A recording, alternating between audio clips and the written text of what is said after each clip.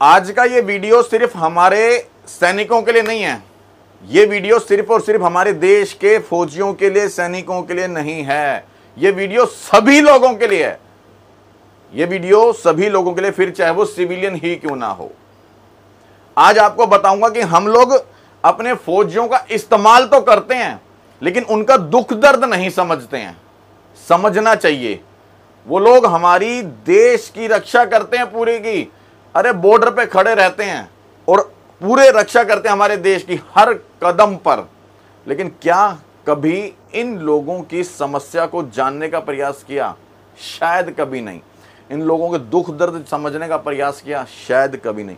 ये लोग कई कई महीनों भर तक सालों भर तक बॉर्डर पे खड़े रहते हैं। उनकी पर, परिवार पत्नी बच्चे जो हैं घर पर किस तरीके से रहते होंगे आप अंदाज़ा भी नहीं लगा सकते इस बात का। और अक्सर मैं वीडियो बनाता हूँ कि हमारे फौजियों के साथ किस किस तरह की समस्याएँ आ रही हैं।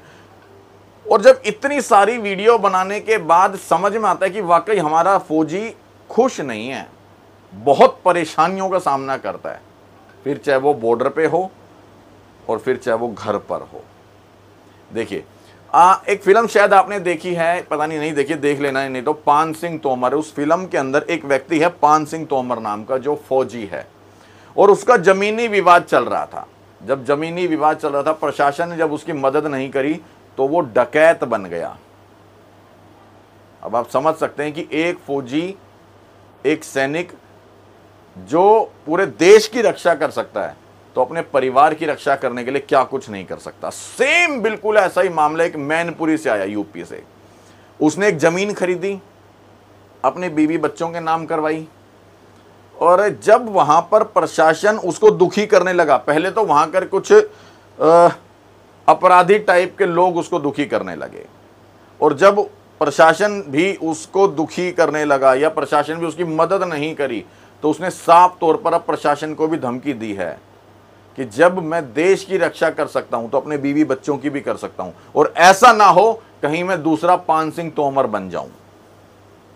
पूरा मामला दिखाता हूँ आपको किस तरीके से हुआ है। देखिए यहाँ पर, फौजी की प्रशासन को धमकी, मैं बन जाऊँगा दूसरा पान सिंह तोमर। और समझो, जब ये दूसरा पान सिंह तोमर अगर बन गया तो क्या होगा?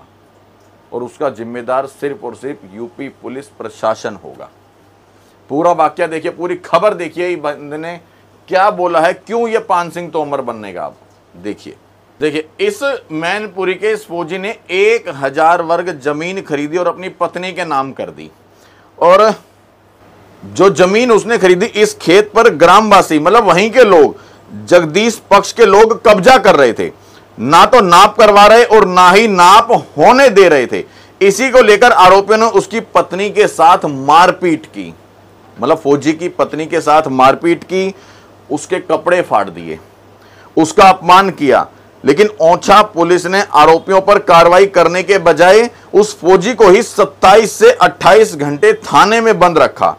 वह चार बार डीएम से, तीन बार एसपी से इस मामले में लगातार मिल चुका। लेकिन हर बार पुलिस को ही मामला भेज दिया जाता और बार बार पुलिस उसी फौजी को दोषी ठहराती। अब खुद बताओ, ऐसे में वो फौजी क्या करे? लगातार डीएम के पास चला गया, एसपी के पास चला गया, पुलिस प्रशासन, जो स्थानीय पुलिस प्रशासन, वो उसकी मदद नहीं कर रहा। और आपराधिक लोग उसकी ज़मीन का नाप नहीं होने दे रहे। उसकी पत्नी के साथ बदतमीजी करी, उसके पर कपड़े फाड़ दिए। अब ऐसे में फौजी ने साधारण तरीके से अगर धमकी दे दी प्रशासन को कि मैं पान सिंह तोमर बन जाऊँगा। देखो सोशल मीडिया पर मैनपुरी ज़िले के रहने वाले एक फौजी का वीडियो वायरल। वीडियो में फौजी जमीनी विवाद को लेकर पुलिस प्रशासन पर गंभीर आरोप लगाता नज़र आ रहा है। फौजी ने वीडियो के ज़रिए प्रशासन को भी चेतावनी दे दी है। शर्म करनी चाहिए ऐसे अपराधी लोगों को भी और पुलिस प्रशासन को भी कि एक फौजी को बार बार तुम लोग चक्कर कटवा रहे हो। शर्म आनी चाहिए। यार, वो हमारे पूरे देश की रक्षा करता है। और तुम लोग उसको, उसके ज़मीनी विवाद में उसको मतलब परेशान करो। ऑलरेडी वो परेशान, उसकी पत्नी के साथ बदतमीजी हुई, उसके कपड़े फाड़ दिए। क्या क्या बोलूँ अब मैं? फिर ये कहा जाता है, ये देश है वीर जवानों का। कहाँ जवानों का रहा? उम्मीद करूँगा इस वीडियो को कम से कम आप बड़े अधिकारियों तक तो ज़रूर पहुंचाओगे, ताकि इस फौजी को न्याय मिल सके। बाकी वीडियो पूरा आपने देखा, वीडियो के अंदर, कमेंट के अंदर जय हिंद ज़रूर लिखना।